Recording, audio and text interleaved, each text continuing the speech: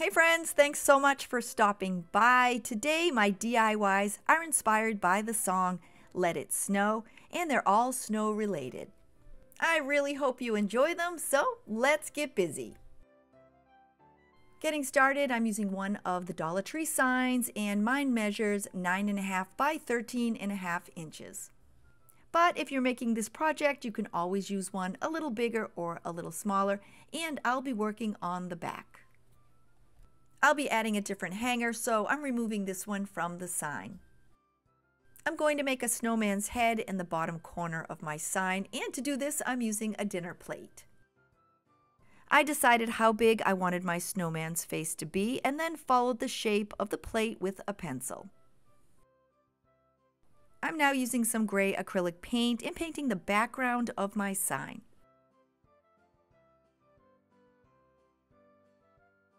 With that complete, I'm now using my white acrylic paint and I'm filling in the area that will become the snowman's head.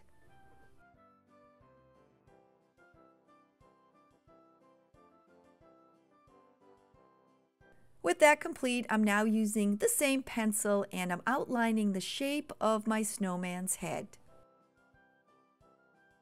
I'm just kind of sketching out the shape and then using my finger to smudge it and it ends up giving it a nice smoky edge. When I'm done, I then use my pencil and work my way around the outside edge and once again I'm just smudging it in with my fingers.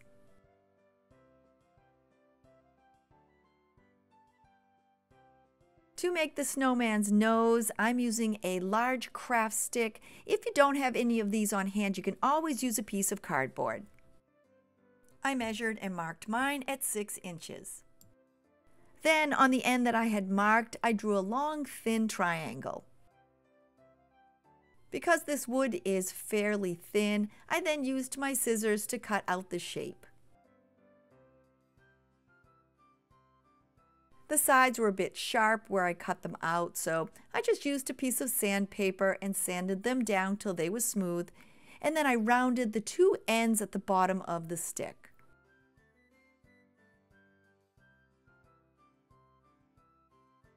With that complete, I'm using some of the Dollar Tree's orange acrylic paint, and I'm giving it a coat on one side. Once it's dry, I'm using my pencil and just making some lines randomly here and there like you might see on a real carrot. When I'm done, I then smudge the marks with my fingers. I then use my pencil and work my way around the outside edge and I smudge that as well. I'm using two small wooden circles for the snowman's eyes and I picked this pack up at Michael's. I used some of the Dollar Tree black acrylic paint and I gave them both a coat. With the carrot nose and the two eyes complete, I'm finding their placement on the snowman's face. I'm now using my E6000 to attach them permanently in place. I added some to the back of the carrot, attached that in place, and then because my tube has a wide opening, I just used the end of a wooden skewer and attached that to the back of the eyes, and then attached those in place as well.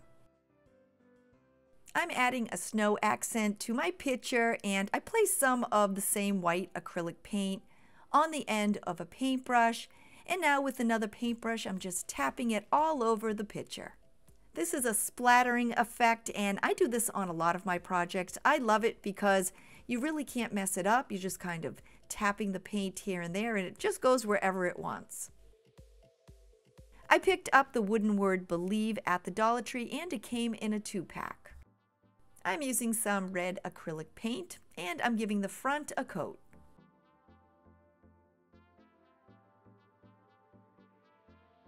I let it dry and then using my E6000 I placed some on the back. I then attached it and centered it on the top of my sign. I'm adding on some snowflakes and I'm using four of these silver and four of these wooden snowflakes that I picked up at the Dollar Tree. I used my white acrylic paint and I painted all four of the wooden snowflakes. With the snowflakes dry, I'm adding my white and my silver together, and once again, I'm using my E6000. I place some on the end of the skewer and then attach the two together. This next step is completely optional. I have a box of crystals and I had picked these up a while ago at Michael's. I'm going to attach one in the center of each snowflake.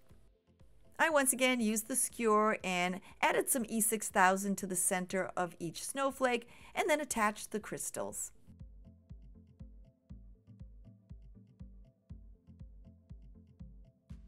I gave them some time to set up and now I'm adding some E6000 to the back of each snowflake and then I'm randomly placing them on my sign.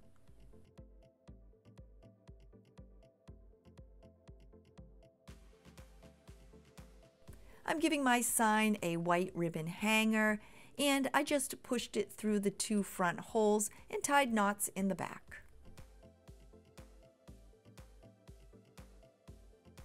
I'm giving my snowman a fleece scarf and I found this one at the Dollar Tree. I placed it on the sign and gave myself about a 4 to 5 inch overhang. And then I cut about 2 inches wider than the sign. I have my cut fabric and I cut about a 6 inch length of the same ribbon that I used for the hanger. I gathered the fabric together at about the 4 to 5 inch mark and then tied it off with my ribbon. I added some hot glue on my snowman's neck and attached the gathered end there. I slightly folded over the bottom and attached that with my hot glue and then did the same to the top. I then hot glued the end of the scarf on the back of my sign. Using my scissors, I'm cutting up the middle of the overhanging fabric. I'm now using my glue gun to attach the two ends and folding them into the center.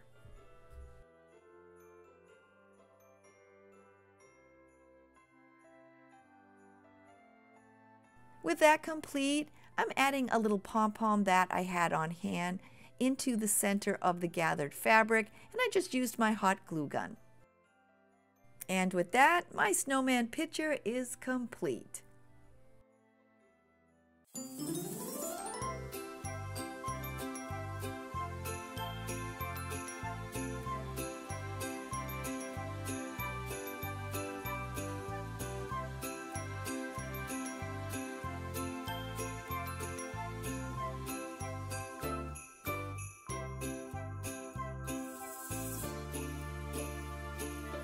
Today, I'm participating in the Christmas with Friends collab, and it's hosted by my two favorite cousins, Kay and Trish from Crafting Cousins.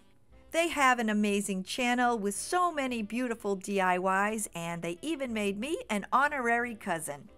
Be sure to check them out on the playlist with my other crafty friends and join in on the chance to win three awesome prizes. If you're visiting after midnight on December 16th, 2022, the giveaway is closed, but I hope you enjoy the playlist and the rest of my video. And now, here's how you enter. Today we are teaming up with some of our crafty friends for a Christmas collaboration. We are all so thankful for each and every one of you and wanted to be able to do a giveaway just in time for Christmas. We are excited to announce that we will have three winners. Don't skip forward. Watch the rest of this clip to see what you have to do to have a chance to win and how you can qualify. If you are looking for a beautiful piece to dress up your home or to give as a gift, check out Tailored Canvases. They have gorgeous canvases for every room of your home, and you can even get a personalized canvas. Tailored Canvases will be gifting one lucky friend with a canvas of their choice up to a size of 24 by 48 inches. These are high quality home decor pieces that you are sure to love. Hop over to their website listed below and check out all they have to offer. Next, we have Totally Dazzled. No matter what the occasion, if you want to add a little sparkle or a lot of bling, you can find the perfect pieces at Totally Dazzled. They have gorgeous pieces that can be used to dress up your craft projects, give the perfect sparkle to your table, or even add to your wedding. Totally Dazzled has generously provided a $50 gift certificate for one lucky friend to use on whatever they would like from their website. Make sure you follow the link in the description box below to go check out all of their beautiful pieces. Last but certainly not least, we have a Surebonder Grace Monroe Glue Skillet Kit. You will see Trish using hers in the Crafting Cousins video and will see just how handy it is, especially when working with florals. It saves your fingers from burns and is an invaluable tool that any crafter would love to get especially at Christmas. Follow the link in the description box to get even more information on this amazing gift. Now, how do you qualify? Watch all five videos in the collaboration. Each creator will ask you a specific question somewhere in their video. Leave your answer to the question in the comments and you are entered to win. You must answer the question for each of the five videos to be eligible. We will be drawing for our winners on Saturday, December 17th, and will announce the winners on the community tabs for our channels. Please be advised that Tailored Canvases, Totally Dazzled, and Surebonder are providing these amazing gifts at no charge in connection with these videos. Also, please note that this giveaway is in no way associated with YouTube and YouTube is not responsible for anything regarding the giveaway. As always, we would like to thank you for your support. We appreciate you all. Good luck in the drawings and Merry Christmas. If you're new to my channel, please consider clicking on that little red subscribe button below and leaving me a thumbs up. And to all my returning friends, I'm always so happy to see you. I'm starting my sock snowman by using one of these white men's sports socks from the Dollar Tree. To give him some weight and to balance him, I'm using some of these bath salts and I picked these up at the Dollar Tree as well. I found the easiest way to fill it is to place the end of the sock over the mouth of the jar. To fill out the head section, I'm using a handful of polyfill. I'm placing it inside and on top of the bath salts. With that in place, I'm now using a rubber band and I'm tying off the top of the sock.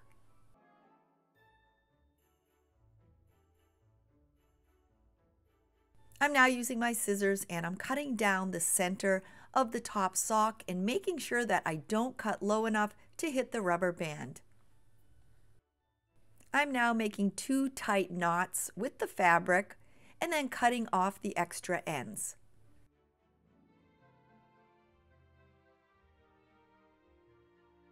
To give my snowman a shape, I'm now using another rubber band and I'm placing it over the area in between where the polyfill meets the bath salts. For the snowman's hat and sweater, I'm using a pair of fuzzy women's socks and I picked these up at the Dollar Tree. I'm only using one and to make the hat, I'm cutting it just below the heel. Now that I have it cut, I'm going to turn it inside out. To give my hat a little hem, I'm adding some hot glue about a half inch from the end and I'm just folding it over. When one side was complete, I then finished up on the other.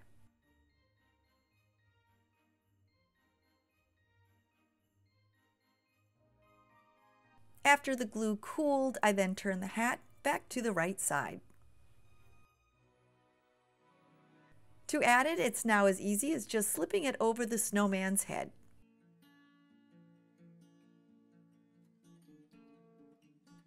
To make the pom-pom, I'm using a piece of white ribbon and I'm wrapping it around the top of the hat where the white separates from the blue and I'm just tying it into a knot and making the little pom-pom. By tying those knots on the top of the snowman's head, this fills out the area to make the pom-pom. I'm using my hot glue gun and I'm adding some under the hat and working my way around to attach it to his head.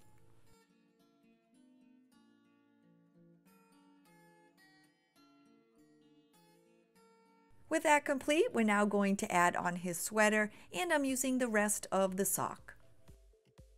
I'm sliding the uncut end of the sock up and over the snowman and stopping at his neck.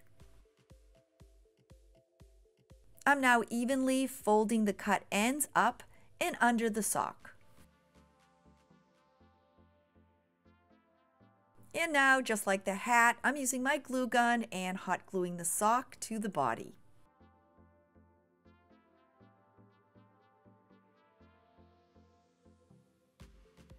I'm adding some buttons onto my snowman and I went through my button jar and I found two small black buttons for his eyes and two silver for the buttons on his sweater.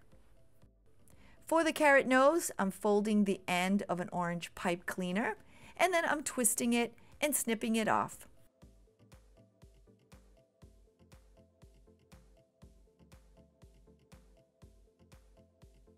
To add the eyes, buttons, and nose to my snowman, I just hot glued each in place.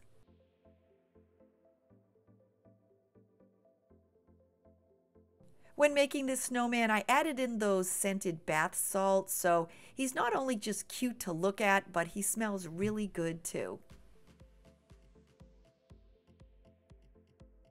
For his scarf, you can add on some fabric or cord. I'm using a pretty piece of snowflake ribbon that I had on hand. Mine is two and a half inch, so to make it a little smaller, I folded both sides into the center. I then wrapped it around his neck and cut it to size. I then tied the ribbon around his neck and hot glued the two pieces together.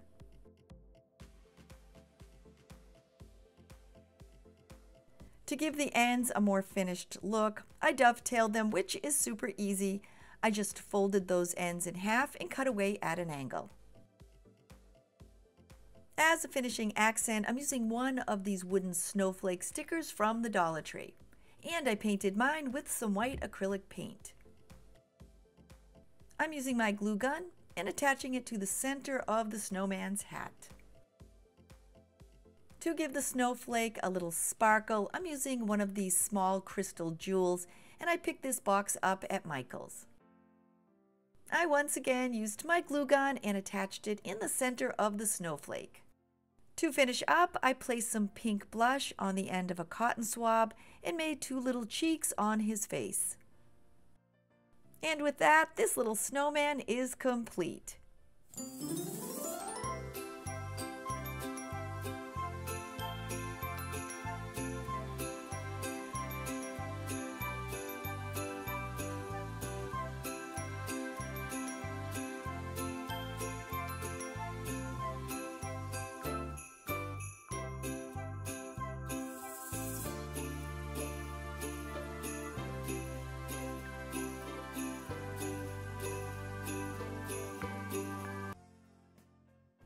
My question for the giveaway is What is your favorite month of the year?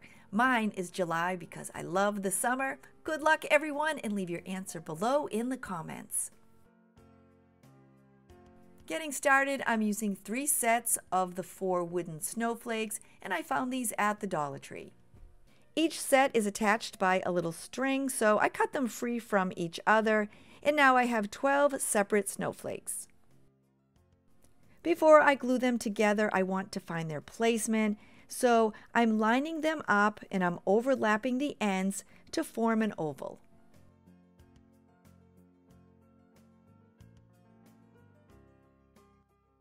I'm attaching my snowflakes together using my Starbond thick glue and this is my go-to glue for all my unfinished wood projects. These snowflakes won't come apart once I use it and it sets up super quick. If you'd like to give it a try, I do have the company linked below in my description. I added the glue to the ends of my snowflakes and attached them together.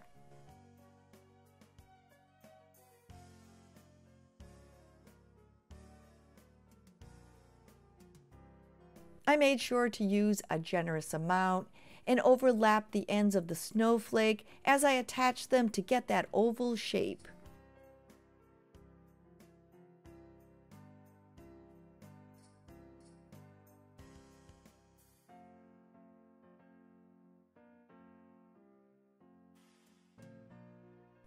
I kept adding on the glue, working my way around until all my snowflakes were attached.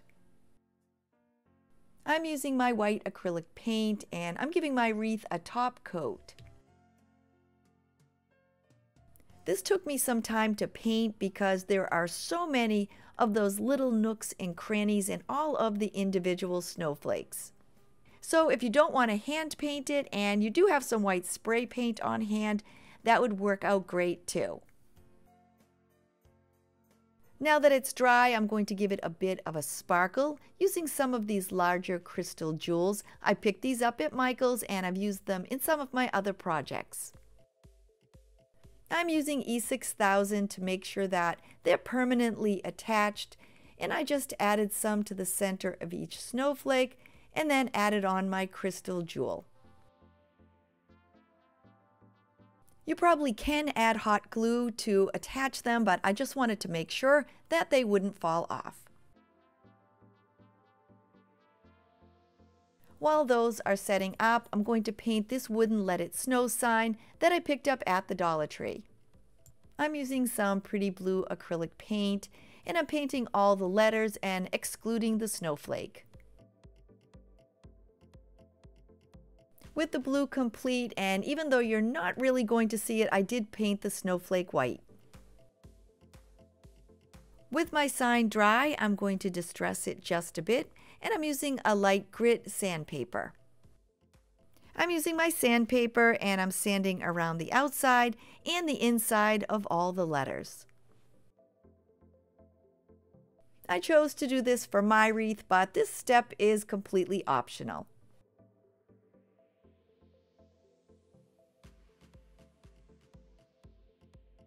I'm using some of the small crystal jewels and I'm attaching them onto the Let It Snow sign as an accent.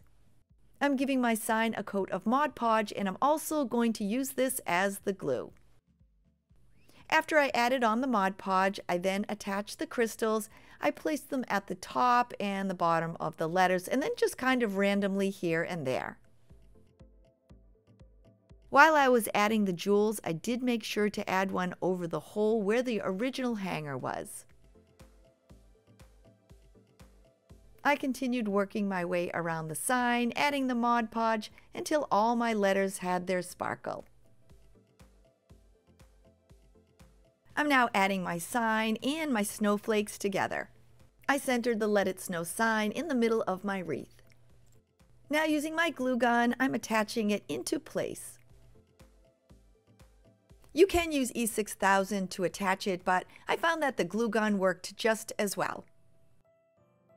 To cover up the snowflake on the sign, I'm using one of these pretty white snowflake ornaments and I picked this up at the Dollar Tree. I removed the hanger and then I used my scissors to cut a little point so it would match the other end and remove the hanger hole. I then added some hot glue to the snowflake on the sign and attached the ornament. I'm making two bows for my wreath and I'm using two two and a half inch snowflake ribbons and I had picked these up at Michael's. To attach them together, I'm cutting in half a 12 inch piece of floral wire. I'm using my bow maker and I found this on Amazon. I matched the two ends of my ribbons up. I'm giving myself a 5 inch tail and two 4 inch loops and then another 5 inch tail. To attach my bow together, I'm placing my half piece of floral wire over the center and then twisting it on the back tightly.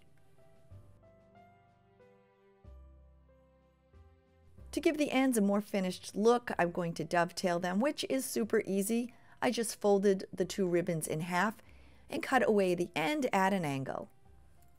With that complete, I cut about a 3 inch piece of the outside ribbon, then folded the two sides into the center.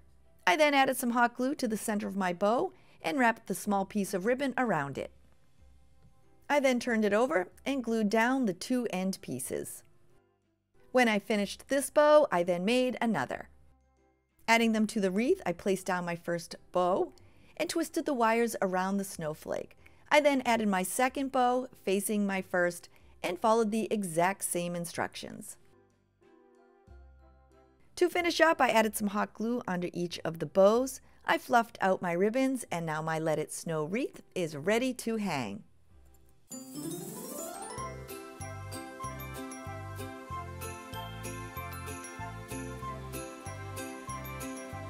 Here we are at the end of the video and I really hope you enjoyed making these Let It Snow inspired DIYs with me. Be sure to check out the Christmas with Friends playlist and if you're new to my channel and you're thinking, hey, I'd like to come back and hang out with her again, don't forget to click that little red subscribe button below. I'll see you all very soon. Bye everybody!